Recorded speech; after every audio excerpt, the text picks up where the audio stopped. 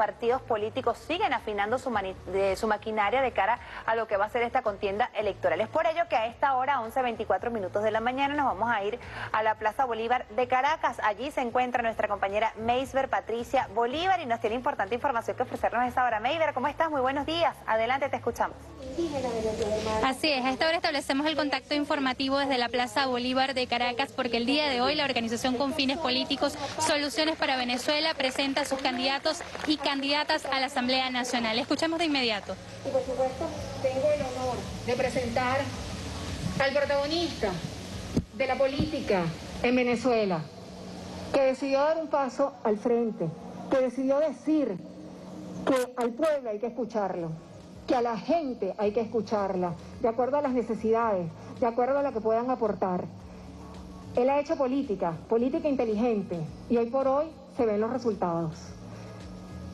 Sin más preámbulo, con un fuerte aplauso recibamos al señor Claudio Fermín, porque esto tiene solución.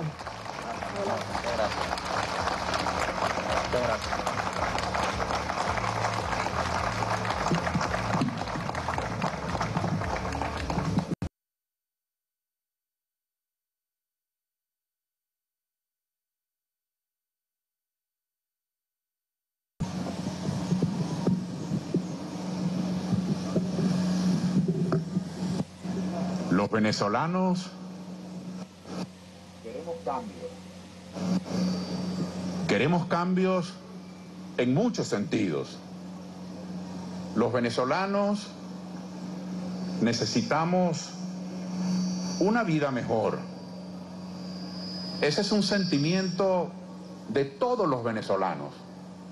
Y así lo interpretamos las mujeres y los hombres quienes en representación de muchísimos otros hemos venido hoy frente al Padre de la Patria a dejar una palabra de compromiso y una voz de esperanza por esa vida mejor que todos sin excepción anhelamos.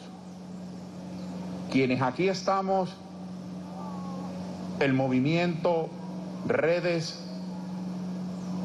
los sindicatos, entre ellos el de la construcción, el del transporte, el de los trabajadores petroleros,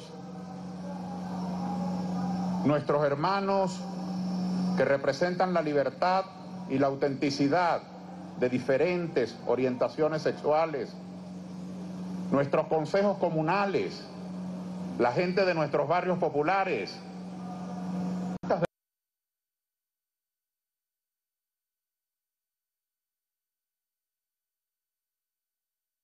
de los políticos. Quienes aquí estamos, la gente de la tercera edad, los jubilados y pensionados, los representantes de nuestros pueblos originarios, quienes aquí estamos, hemos conformado una alianza y la anunciamos desde hace tiempo al país. Hoy queremos reiterarla.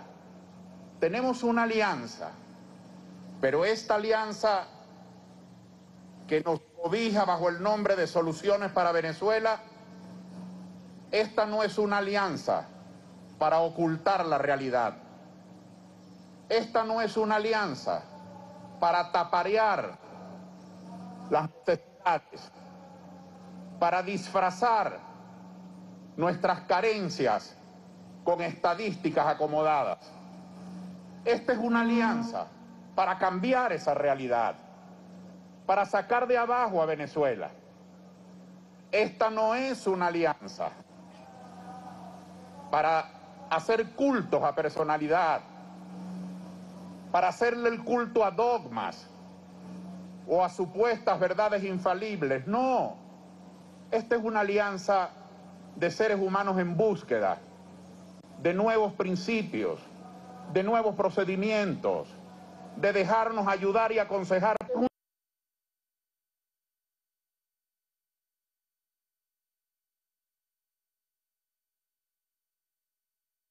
Alianza para sacar a Venezuela de abajo, no una alianza para imposiciones. Esta no es una alianza para presentar una nueva élite política, no. Esta es una alianza desde abajo. Esta es una alianza de los comunes. Esta es una alianza de los venezolanos. Esta es una alianza hecha con el propósito, con la ilusión de cambiar nuestro país, pero de cambiarlo para bien.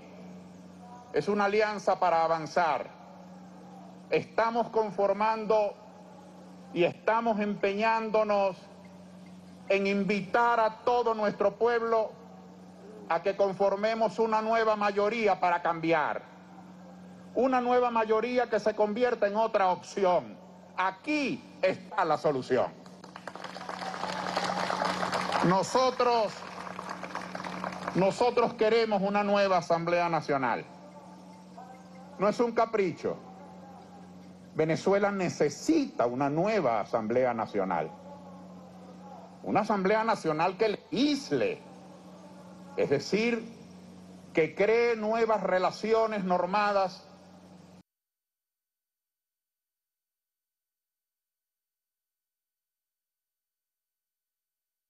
expectativas, expectativas ciertas entre el Estado y los ciudadanos. Necesitamos una nueva legislación. Veamos el caso de la seguridad social. Antes, aquí y en otros países, aspirar una liquidación laboral o pensar en prestaciones sociales era imaginar un escudo de protección para la familia. ¿A quién protege hoy una liquidación? ¿Qué se ahorra hoy en una caja de ahorro? ¿Qué significa hoy una jubilación?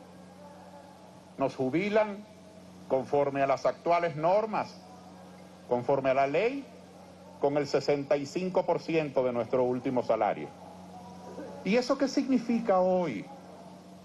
Ese es un llamado de atención serio a que nuestro país, no la oposición o el gobierno, los partidos o los sindicatos, no, nuestro país necesita una Asamblea Nacional que legisle sobre la seguridad social. No hay seguridad social que le dé tranquilidad al pueblo venezolano. Es un pueblo a la intemperie. Necesitamos, como esa, muchísimas más vías de legislación. Hay que crear otros procedimientos. Necesitamos una Asamblea Nacional que promueva acuerdos, así como ustedes han protagonizado con paciencia, con convicción, estos acuerdos que hoy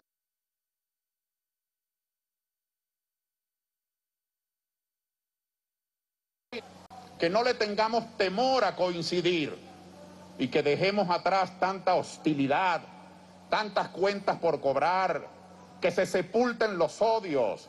Necesitamos una Asamblea Nacional que le dé resultados al país, no que acumule más enemistades para nuestros hijos.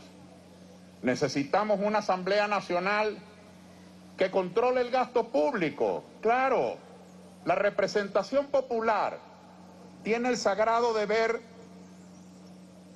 de observar dónde están los recursos del Estado, dónde están los equipos, cómo se están usando sus profesionales, a qué se dedican sus trabajadores, cuáles son los planes del Estado. Los planes son uno de los recursos más importantes. A qué se dedican las finanzas y los dineros públicos. Eso es una obligación que no se ha satisfecho. Hemos tenido una Asamblea Nacional negligente Hemos tenido una Asamblea Nacional ausente. ¿Dónde están los recursos para la salud? ¿Por qué hay que andar dando zancadas de hospital en clínica, en centros de salud, públicos, privados, para conseguir un aparato de resonancia magnética?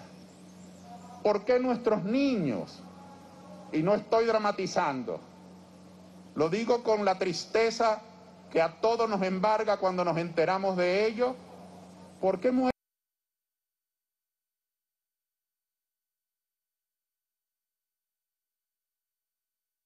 ¿Por qué? Todos necesitamos apoyo. Los gobiernos municipales, regionales y el gobierno nacional, este y el que venga, necesita apoyo. El país también necesita apoyo. Y esa Contraloría Social, ese vigilar el destino de los recursos públicos, es un mandato que hemos asumido quienes estamos acá representando a los candidatos postulados por soluciones para Venezuela. Que haya control del gasto público, pero ese control no es un acto punitivo, no es una declaración de enemistad, es el mejor auxilio que puede brindar la representación popular a quienes ejerzan el mandato del gobierno, para que se identifiquen las carencias, para que no se baje la guardia frente a los problemas, para que entre todos rindamos buenas cuentas. Entonces, esa Asamblea Nacional que controle el gasto público, que promueva acuerdos, que legisle, es una necesidad. Y necesitamos una Asamblea Nacional que atienda, que atienda a la gente que se ha organizado y que ha tenido representación antes de la representación que nosotros vamos a recibir. Nosotros recibiremos un mandato la voluntad del pueblo, pero hay quienes lo han recibido antes.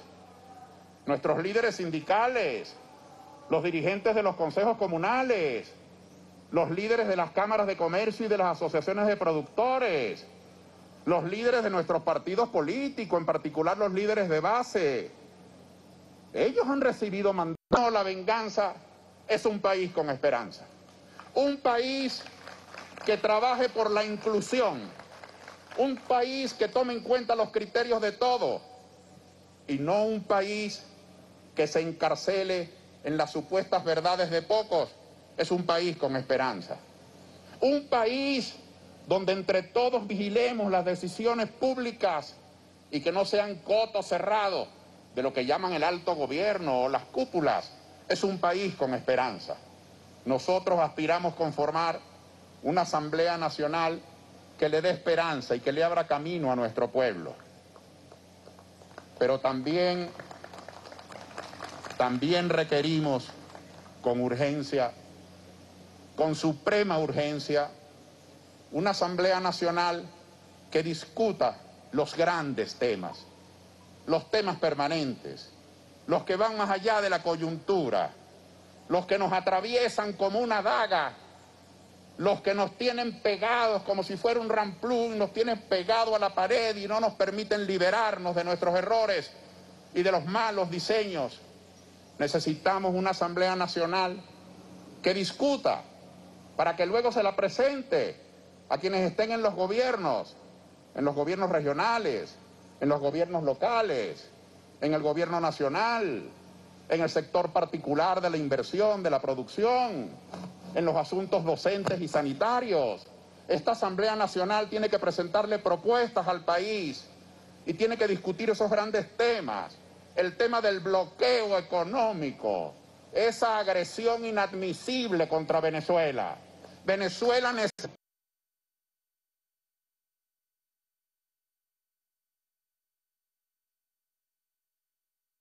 sus pescadores, sus industriales, sus comerciantes, sus artesanos, sus transportistas produzcan con libertad y que no haya interferencia alguna en la potencialidad de la producción nacional. Venezuela necesita la libertad de comercio. Por cierto, esa libertad de comercio que en 1808, 1809, 1810, 1811 fue una de las grandes banderas del padre de la patria frente a la cerrazón, al candado, a la asfixia que pretendía la metrópoli de impedir la libertad de comercio a los criollos. Y fue una de las fuentes de la gran revuelta de principios del siglo XIX.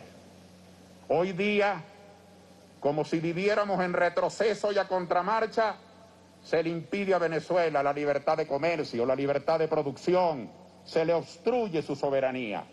Y esta Asamblea Nacional nueva, porque la que tenemos no solamente fenece desde el punto de vista cronológico, sino que no funcionó, esta nueva Asamblea Nacional tendrá que levantar las banderas de la soberanía y unirse de la manera más inteligente, con los métodos más apropiados, que discutamos entre todos, porque el bloqueo no es contra el gobierno, el bloqueo es contra los venezolanos. Y los venezolanos debemos decidir juntos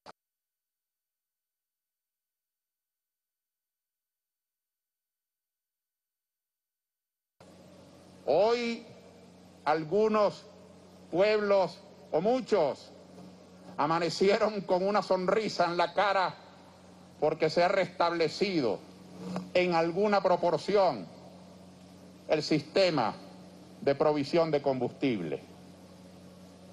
Pero la reflexión tiene que ir más allá de esa coyuntura. ¿Por qué después de 100 años de explotación petrolera no hablo de un gobierno, ni del otro, ni de aquel, ni de este. 100 años de producción petrolera y muchos más de fundación de nuestras universidades. Y todavía los venezolanos tenemos que ver el deprimente espectáculo de que las fuentes de poder y que las cúpulas decisorias y que los centros de toma de decisión no estén en capacidad de producir nuestra propia gasolina. Es una vergüenza, pero no nos vamos a hundir ni a arrodillar en la vergüenza. Hay que empinarse sobre eso. Y esa Asamblea Nacional tiene que discutir y tiene que recibir a gente sabia y tiene que convocar a los diferentes sectores y a los diferentes criterios para auscultar cuál es el mejor camino y tiene que proponerle al Ejecutivo y a los centros especializados un proyecto serio de recuperación de la industria petrolera hoy postrada. Ese es un gran tema que la Asamblea Nacional ha de abordar.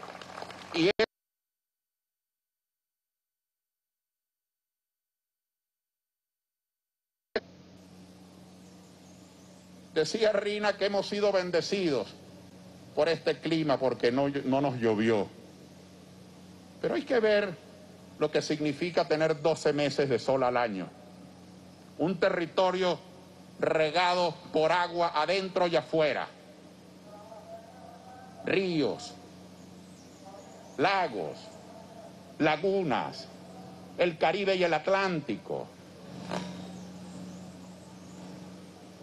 Los 12 meses de sol. Y que haya hambre en Venezuela que tengamos que depender de unas cajas cuando la producción de alimentos es un desafío nacional. Ese no es un llamado opositor, ni de gobierno, ni político, ni partidista. Es un desafío nacional. Las sociedades tienen que producir sus propios alimentos. Ahora, ¿cómo se produce alimentos? Bajo amenaza, bajo persecución, con inseguridad. Los agricultores necesitan incentivos. Los agricultores necesitan asistencia técnica. Los agricultores necesitan apoyo.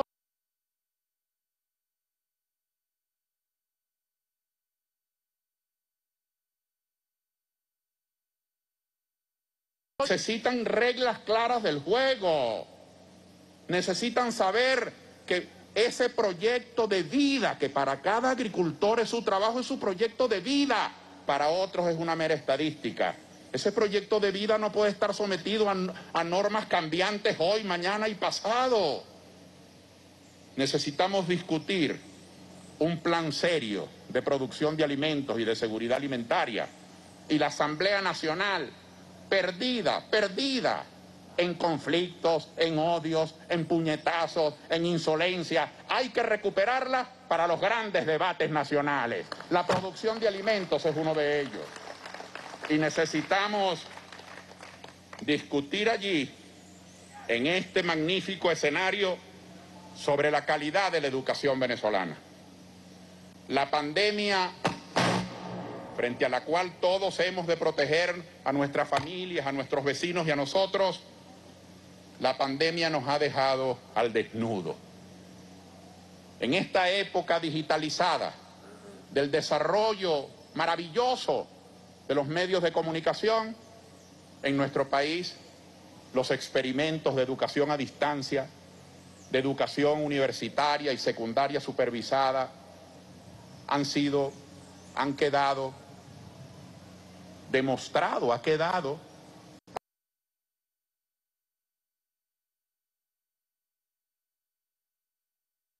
particulares, pero nuestra educación no solo es insuficiente, sino nuestros educadores, nuestros educadores con unos honorarios igual que también las enfermeras, los policías, los obreros, los transportistas, es para todos, en este caso igual, por la pérdida de valor de nuestro signo monetario,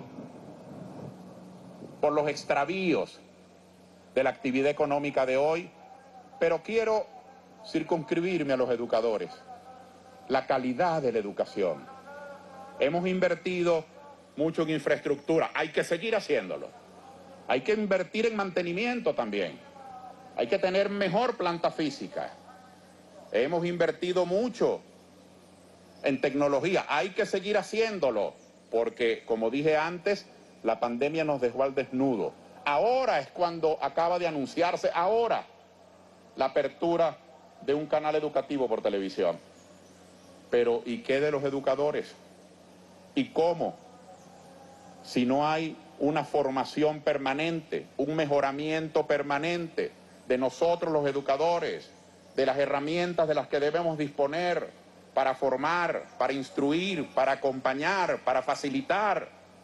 Así que la calidad de la educación es uno de los grandes temas que ahí tenemos.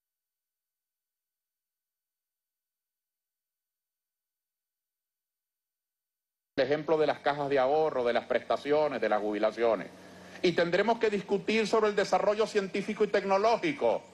Nuestras universidades que claman hoy por recursos, pero ¿qué cosa? La mayoría de esos recursos es para la docencia, lo que algunos ejercemos. La investigación sigue marginada. La búsqueda de la verdad sigue marginada.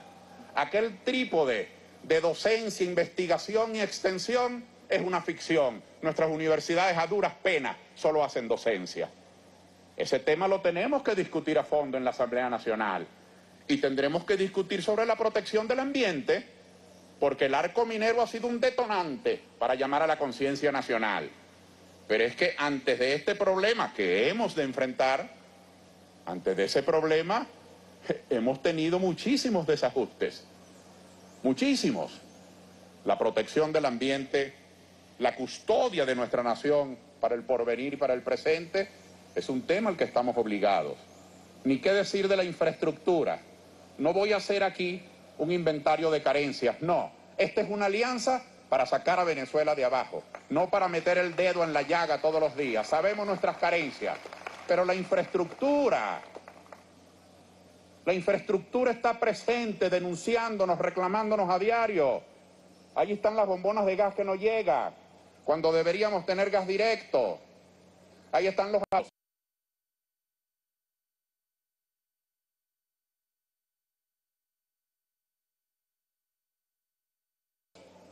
fundamental para la salud, para el bienestar, para la dignidad. Ahí está el transporte público de pasajeros. Centenares de miles de familias fueron levantadas con hombres con las manos llenas de callos detrás de un volante, 12, 14, 15 horas, extinto el transporte público de pasajeros. Hagamos entonces desde la Asamblea algo más que denunciar. No renunciemos a la denuncia jamás, pero hagamos algo más. Vamos a estudiar, vamos a proponer planes asertivos, vamos a señalar un camino con una legislación eficiente y proactiva que se ocupe de la infraestructura nacional y vamos a ocuparnos de nuestros pueblos originarios. Vamos a ocuparnos, no solo para que puedan preservar su cultura, que ya es un desafío irrenunciable, sino para que puedan alcanzar los grados más excelsos de desarrollo de sus propias culturas. Esos grandes temas tendrán que discutirse en esa Asamblea Nacional. Finalizo aquí frente al Padre de la Patria, frente a quien jamás tendremos cómo saldar nuestra deuda. Y frente a Él, así como nos comprometemos a luchar por esa soberanía que hoy algunos pisotean y otros pretenden pisotear, así como frente a él nos comprometemos a recuperar para nuestro pueblo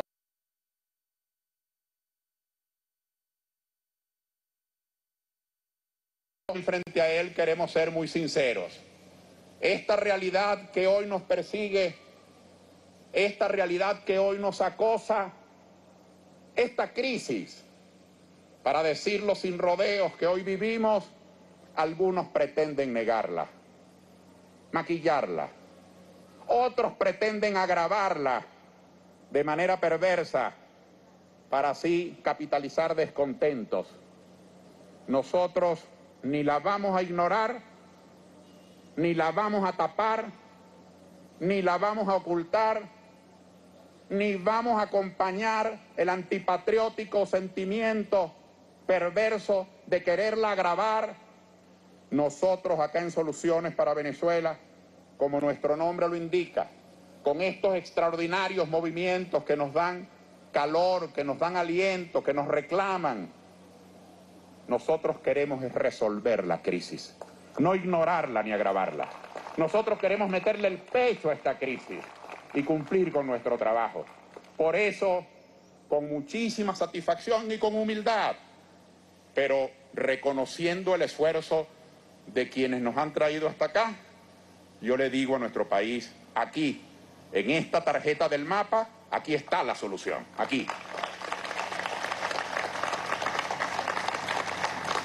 Bien, eran palabras, palabras de Claudio Fermín, presidente de la organización con fines políticos Soluciones para Venezuela, durante la presentación de los candidatos.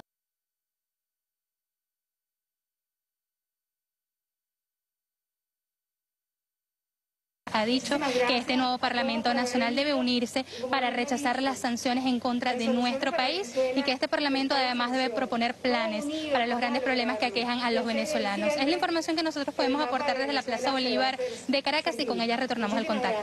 Para ello nos vamos con nuestra compañera Meisber Patricia Bolívar en vivo y directo, quien está con el secretario de Soluciones para Venezuela, Claudio Fermín, que acaba de presentar a sus candidatos y sus candidatas. Meisber.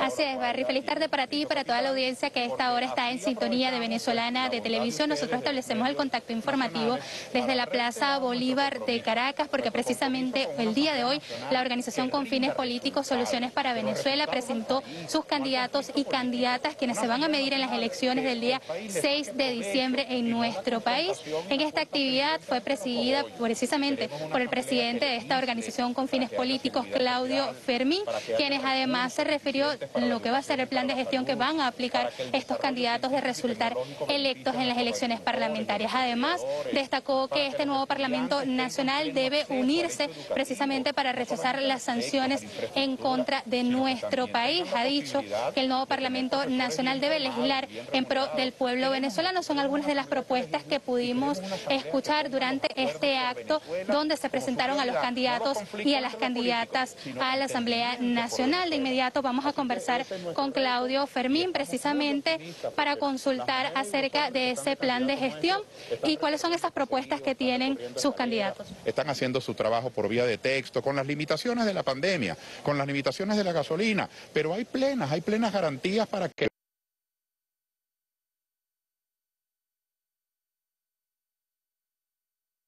Estoy muy optimista en que la fracción, como hemos llamado coloquialmente a un grupo homogéneo de diputados, la fracción de soluciones para Venezuela va a representar no solo a todas las regiones del país, sino que va a dar una, un testimonio de una nueva manera de hacer política. ¿Cuánto se gastó en estos últimos cinco años en esa Asamblea Nacional? ¿Cuánto tiempo? ¿Y en qué se les fue el tiempo? Además de puñetazos, insolencias, insultos. ¿En qué se le fue el tiempo? En recordar que el uno era un tal, que el otro era un cual. Es decir, sus pequeñas contiendas domésticas, sus pequeñas intrigas de cogollo, las confundieron con el problema nacional. El problema nacional no es la agenda de venganza o de retaliación de los políticos. El problema nacional son los servicios públicos, es la moneda que nada vale son los ingresos familiares que están extintos, es la capacidad adquisitiva de una familia que hoy pasa hambre, es el sueño de un muchacho que no se quiere ir de su país y que ama su tierra. Así que para nosotros estamos en, un modo eh, esperanzado, estamos con mucha ilusión, estamos con muchos proyectos para recuperar la Asamblea Nacional y que sea una fuente de soluciones para nuestro país.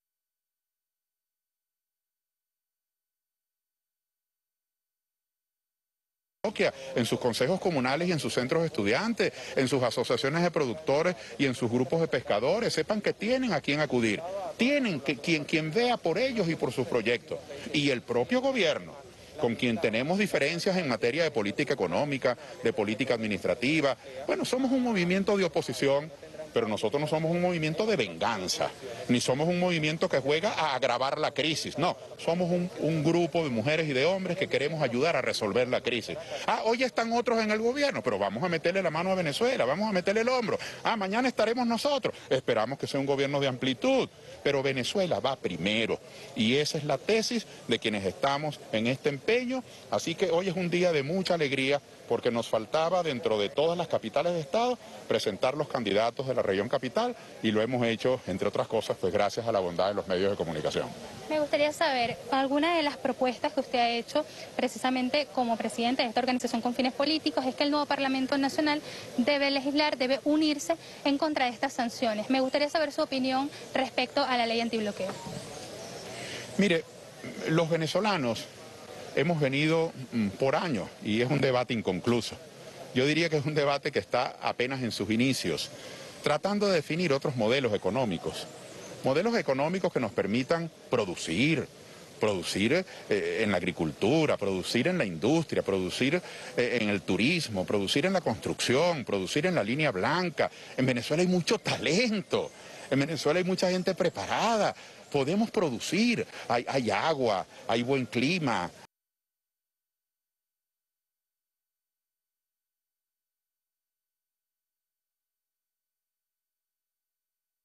por, todo el planeta a menor costo. Pero ¿y cómo producimos con un modelo económico equivocado?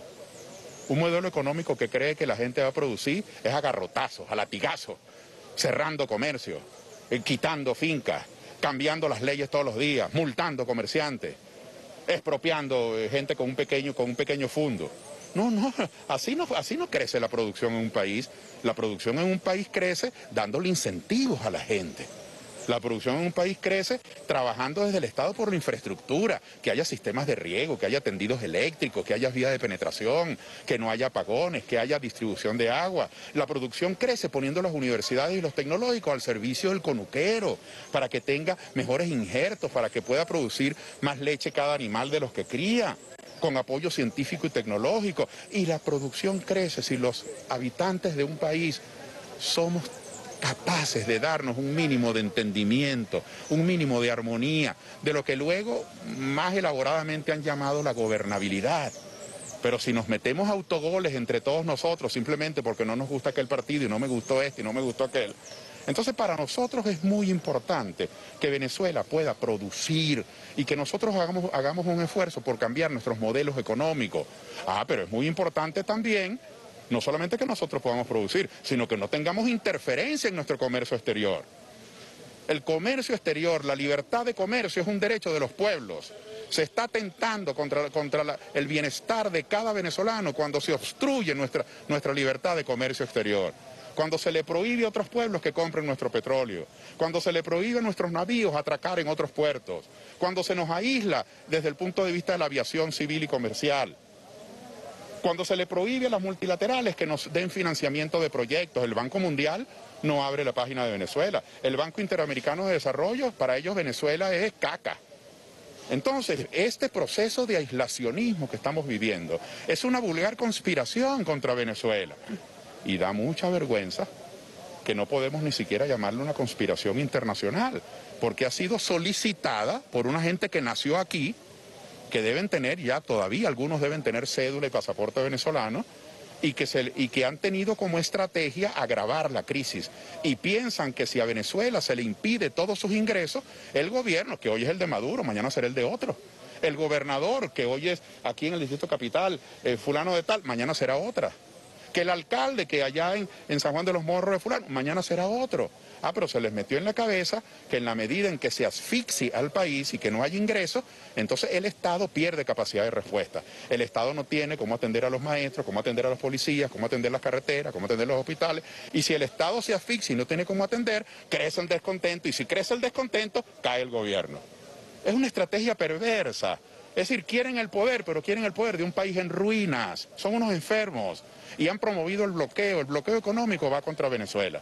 Entonces, en esa Asamblea Nacional tendremos que discutir cuáles son las mejores estrategias del país, porque el bloqueo no es contra el gobierno ni contra el señor Maduro. El bloqueo es contra el país, contra el que trabaja, contra el ama de casa, contra el joven, contra aquel que ve que en su país ya no hay oportunidad, entonces se quiere ir para otro sitio.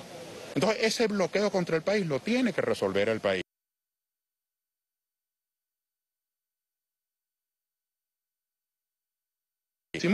Bueno, esta, la presentación de este proyecto de ley, digamos, es el inicio de ese debate público. Así que frente a ese proyecto de ley, pues han surgido opiniones, vamos a, vamos a administrarlas, por cierto. Me comentaba el profesor Barreto y el doctor Marín ayer justamente, tanto redes como soluciones, que es la misma cosa, estamos convocando a algunos dirigentes para esta semana a analizar no solamente el proyecto de ley antibloqueo, sino para analizar otras ideas que también tienen otros estudiosos de la materia. Pero tenemos que analizarlas todas. Algunas tienen pro, otras tienen contra, pero lo importante es que sea el país. Mire, el bloqueo es algo tan poderoso son unas potencias tan diabólicas las que están al frente del bloqueo, que eso no lo va a resolver un, solo sector, que soluciones presente un proyecto de ley, eso no tiene fuerza, tiene que ser el país. Así que estamos muy atentos frente a ese inicio del debate vamos no solamente a seguirlo con atención, sino que vamos a hacer nuestras propias sugerencias, nuestras propias propuestas. Además, eh, a pocas semanas, dentro de dos meses y medio, estaremos instalando una nueva Asamblea Nacional y nosotros estamos sí comprometidos que esa nueva Asamblea Nacional, con el concurso de nuestros parlamentarios, brinde todo el apoyo para que la sociedad como un todo salgamos de ese bloqueo. Empezó el debate, vamos a atenderlo, vamos a seguirlo con atención. Se acerca el proceso electoral y hay un factor muy importante que es el acompañamiento. Se ha planteado incluso hacerlo a través de videoconferencia. ¿Cuál es su opinión al respecto? Mire, nosotros estamos actuando a la luz del día. Soluciones para Venezuela fue un proceso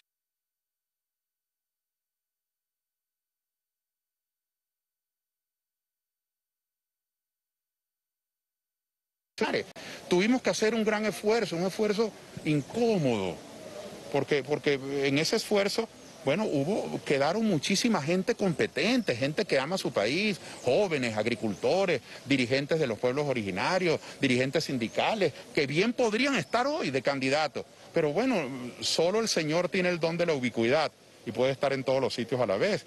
Aquí eh, no podíamos tener sino 277 candidatos y sus suplentes, no podíamos tener más. Nosotros hicimos un gran esfuerzo y hubo una muestra de mucha madurez política de todos nuestros grupos de apoyo en las bases que entendieron pues que no le puede tocar a todo el mundo a la vez. Resolvimos ese problema. hemos resuelto el problema, nos inscribimos con libertad. Así como nosotros nos inscribimos, decenas de organizaciones se han inscrito. Aquí hay un proceso político abierto, transparente. Nosotros eh, hicimos todos los procedimientos que el Consejo Electoral nos pidió. Incluso estamos muy contentos porque esta nueva, esta nueva elección la vamos a celebrar en un método de representación proporcional, que es una conquista. No es que el que gana se lo lleva todo, sino que el pueblo va a tener representación, independientemente de que en un Estado ordinalmente llegue de primero este o llegue de primero aquel. Todo quien tenga una votación dentro de los cánones, pues, del respaldo popular va a tener representación. Eso ha sido un gran logro, la representación proporcional.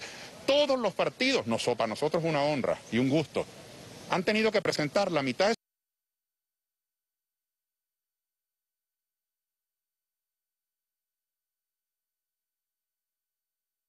1998, cuando se eligió el último Congreso de la República, teníamos 57 senadores y 207 diputados. Repito, 57 senadores y 207 diputados, es decir, 264 parlamentarios. Hace 22 años, con la mitad de la población, teníamos 264 eh, diputados. Ahorita solamente tenemos 167. Bueno, y es que el sur del lago no merece tener un diputado más. Y es que acaso la zona de Santa Rita, el centro del estado de Aragua, que ha crecido explosivamente, no merece tener tres diputados más.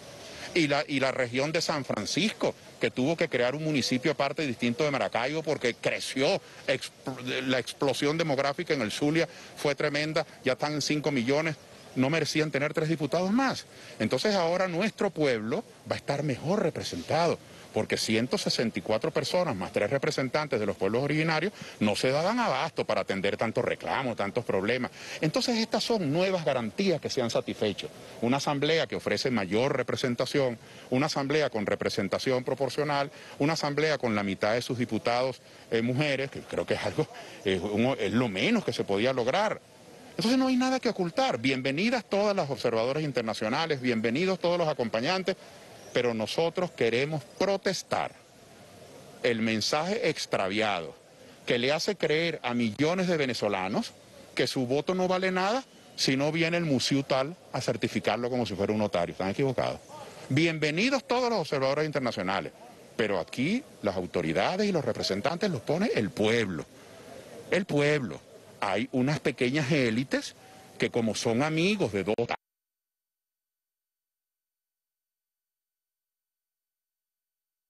ni del Comando Sur, son empleados de otros países, creen que lo importante es tener eso. No. Bienvenidos los observadores, bienvenidos los acompañantes, pero no perdamos el sentido de las proporciones.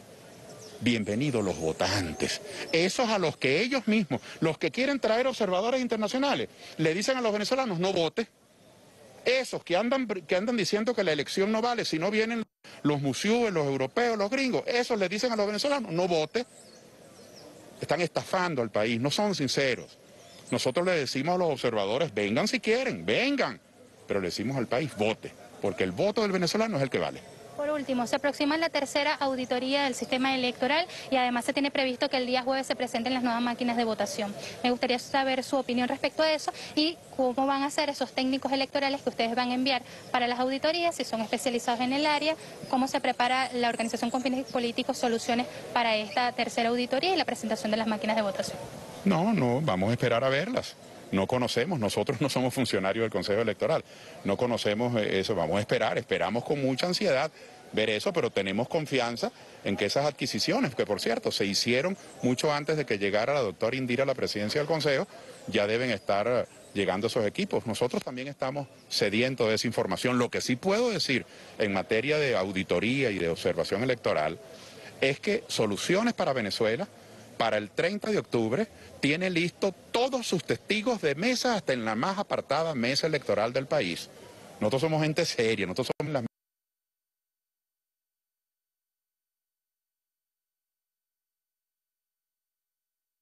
mesas representando al partido del MAP. Así que vamos a tener testigos, usted puede votar con confianza y vamos a votar por el cambio. Venezuela quiere cambio, un cambio para bien, no un cambio para más conflicto, un cambio para bien.